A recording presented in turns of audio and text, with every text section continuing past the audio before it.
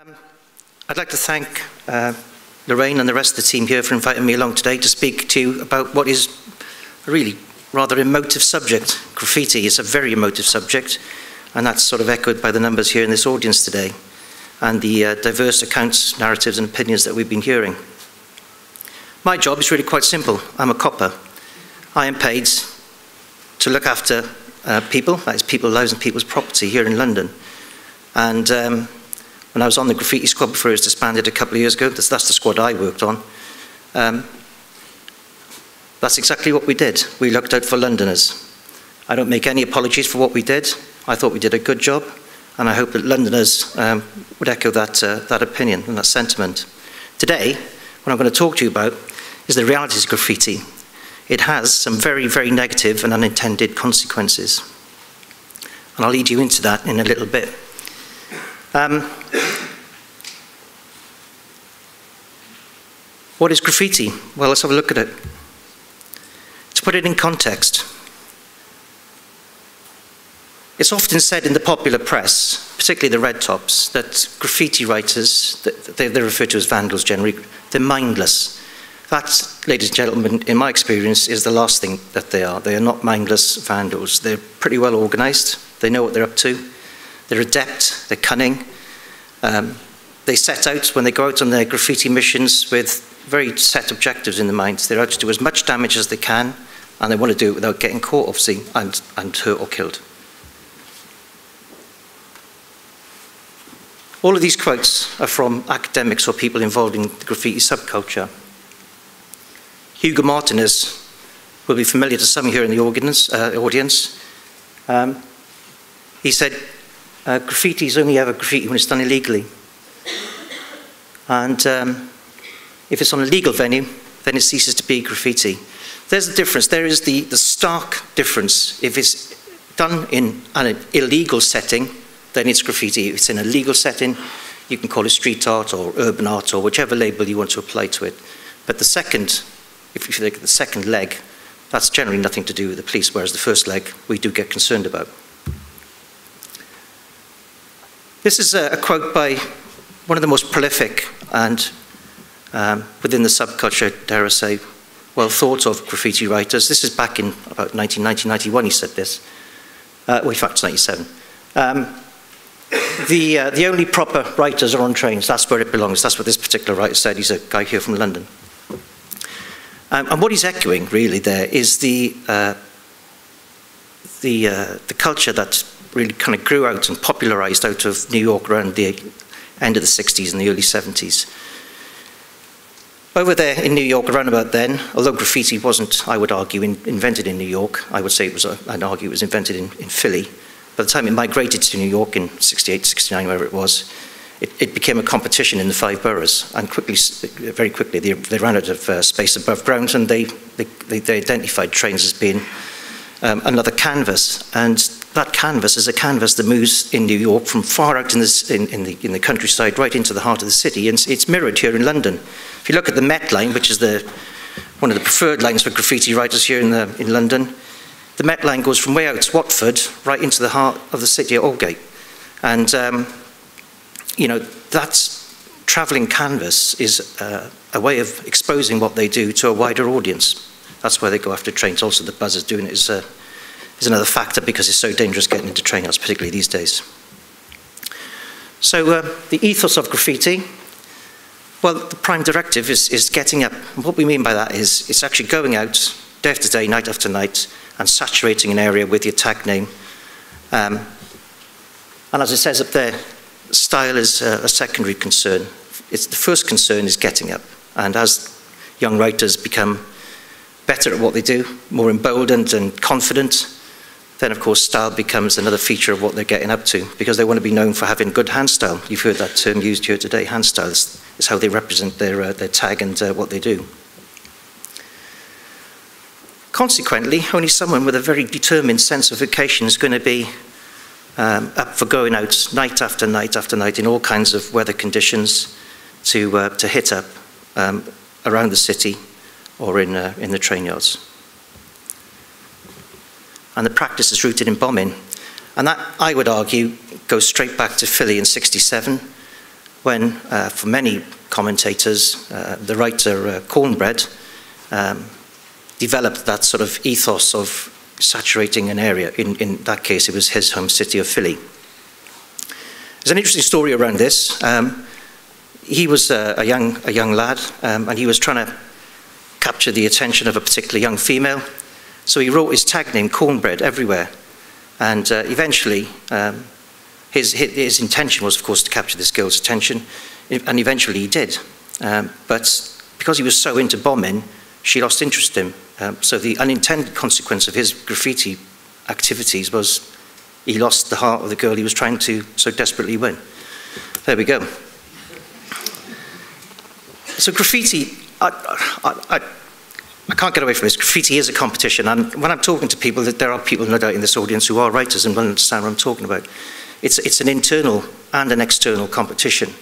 And the way I like to sort of describe it is like this. If you think about golf, whether you go out on your own or with your partners, you know, two, four ball, whatever, you're always trying to do, when you're playing your shots, you're trying to play the, the very best shot you, as you can because you want to get down that particular green in as few shots as possible. That's, that's the idea of, uh, of golf, isn't it? It's the same with graffiti writers. When they, want to, when they go out, they want to do you know, the best graffiti that they can. They may have to do it very quickly, but they're still interested in doing as much and as best as they can. So it's a big competition, and they compete for space, particularly public spaces, because that's where the public get to see what they do. No point uh, painting graffiti in somebody's attic. Who's going to see it there? No one. Um. You know, you've, you've heard um, Mr. Judd here today say he did 2.5 million uh, uh, pounds worth of damage. That is a huge amount of, uh, of work that's gone into producing that kind of damage. Style. Nobody wants to be known as having a weak hand style. But it's fame. This is, this is one of the principal motives for graffiti writers in my experience. It's fame from a name. So once they've developed their tag, uh, the, the, letters they want to use, then it's go out, saturate the area, um, and try and get fame from that name. And labels, they compete for labels. Now, some of the labels that they compete for, you've probably heard about here today, Toy, Writer, King. These are all bound into the all city movement. And you can see here in London, there's, there's thousands of writers absolutely thousands of them. Across the UK, there's probably tens of thousands. And the principal focus, as I said, is to write on trains. So we've done a, a survey, it's a couple of years ago now, but we identified 287 known train writers. Further, 172 that we didn't um, know, that is, we didn't know who they were, what their real names were, of which 41 were um, foreign nationals, and they originated from 20 different countries. And London is the economic, the beating heart of the UK, and this is where they come to. And the reason, one of, one of the reasons they come here, not just because they want to be tourists or stuff like that, um, is because we have such a wide variety of um, transportation systems. We've got overground trains, underground trains, we've got tram systems, you know, there's a whole bunch of different transportation systems, plus the, the, uh, um, the bus networks. These are all steel, that's what they're going after. You know, you heard Mr. Judd saying he was a member of a graffiti crew. His graffiti crew was ATS, addicted to steel. That's what they were into, bashing up steel. That's what I police. My job is to stop and do it. Try and protect their lives as well. But London is a tourist trap. People come here from around the world, not just to experience London and all it has to offer, but they also come here as graffiti writers from across the world. We get writers here from Australia and all kinds of things, and they come here just to bash up our trains, take some photographs, and go home and tell their mates what they got up to. We've heard about the broken windows theory. I am I, am a disciple of it. I, I, I have, I know there's, there's those that disagree, and there's lots of voices that dissent and disagree with the theory, but I happen to agree with it. I personally, my own experience, do, do think it leads to antisocial behaviour, other types of more serious crime and urban decay. Um, that's my, that's my, uh, my personal opinion. Um, but it can also, on the railways, create a climate um, of fear for those who work there. Some of the messages, and you guys don't get to see them because it's, it's got rid of it pretty quickly, but some of the messages that are left are really quite offensive. Not very nice things at all. And here's a figure. This is a current figure, um, and it is up to date. This is currently what it's costing uh, to uh, deal with graffiti, just on the railways. Um, more historic figures.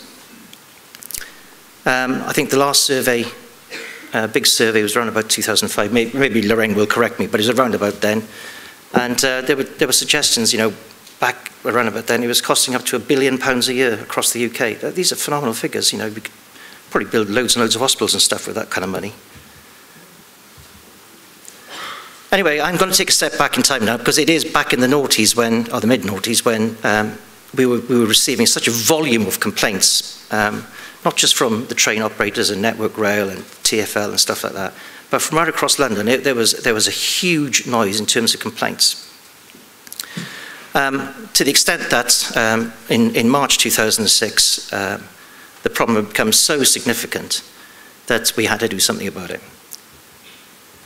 So what we did was we, we set up a, a, policing operation. It was a huge task force. At the height of its powers, I think there was 45 um, police officers and police staff engaged in the operation. And um, the crew that uh, we identified um, as being uh, the most destructive at that particular time, others may argue otherwise, but I thought they were the most destructive, was the DPM crew, the Don't Push Me crew, based loosely um, around sort of southeast London. So uh, we, uh, we did the investigation like uh, you'd expect us to, and in June 2006 we arrested 10 people. Um, we focused our attention on investigating 120 graffiti offences. These were principally against trains, but there were um, also some train stations, trackside walls, and people's homes, people's cars, people's white vans, and, and stuff like that. There was, they, were, they were into everything, this guy, these guys. The total cost of the damage that was attributable to them was um, about a half a million pounds. And um, by November the next year, um, nine men had been charged with a conspiracy to cause criminal damage. And this really, for us in the police service, was another step change in our attitude and the way we policed up um, graffiti. Whereas before we would uh, uh, deal with them for what they were caught doing, that is, if they were caught tagging a wall or whatever it was, we would do them for that. The step change had to occur. We, we had to sort of grasp this problem really quite, uh, quite properly by the horns. And um, rather than dealing with them for a straightforward criminal damage offence or maybe a joint venture, the step change came with the conspiracy to cause criminal damage. For those of you that don't know, the difference is criminal damage is damaging somebody else's property without their permission with the intention of causing that damage. That's pretty much in a nutshell.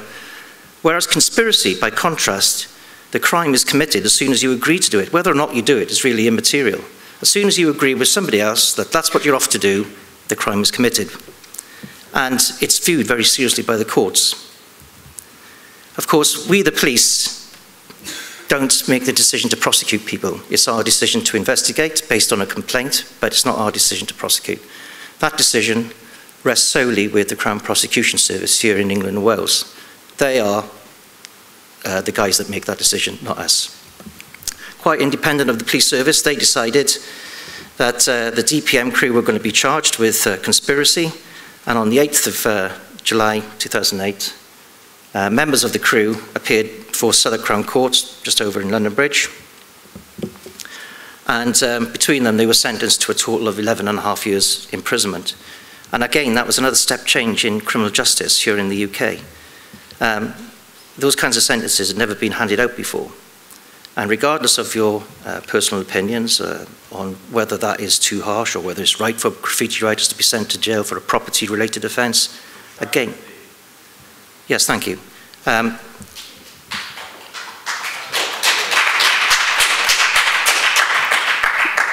the sentence of a court lies solely with the judge. This again, it's nothing to do with the police. It's, it is a matter for the judge based on his own judgment, and that's what the judge in this case decided. So that's the first case, the case study. Um, it just goes to show kind of that particular crew based here in London, they were operating right across London and the southeast, but it goes to show just how much damage they did over a, uh, a period of about, I don't know, nine or 10 years, I guess they were in operation. Um, to my mind and my knowledge, um, I think they've, uh, they've knocked it on the head. They do kind of legal work now, but that's about it. The second one, um, investigation, again, it was another crew-based investigation, but a, a slightly um, different context to it. Um, this, this, really sort of demonstrates the, the idea of the all-city individual movement and how it can be sort of developed, worked upon from a sort of a, uh, the perspective of a, a graffiti writer's criminal career. For graffiti writers, the idea is to be as prolific and as prominent as possible, so they go to all different neighborhoods around the city and, uh, and get up. And once you've gone kind of um, all city, then you move off to the next town, or the next city, and you keep going and you keep bashing up until you've gone all country, and indeed then next step is to jump across the water and, and start hitting up in Europe and further afield. And this is what this crew did. This is the GSD crew and uh, the Goat Squad. Um, the members of that, of that particular crew that uh, we dealt with, um, they were all, in their own rights, very well thought of graffiti writers, um, and they were inducted into this crew from, from other crews that were based around the country, like a sort of a kind of a, like a super crew. And uh, they really kind of did specialize in going right around the world um, as graffiti tourists, using like the sort of embedded structures and organizations in the graffiti tourism, in, uh, sorry, in the tourism industry to become graffiti tourists.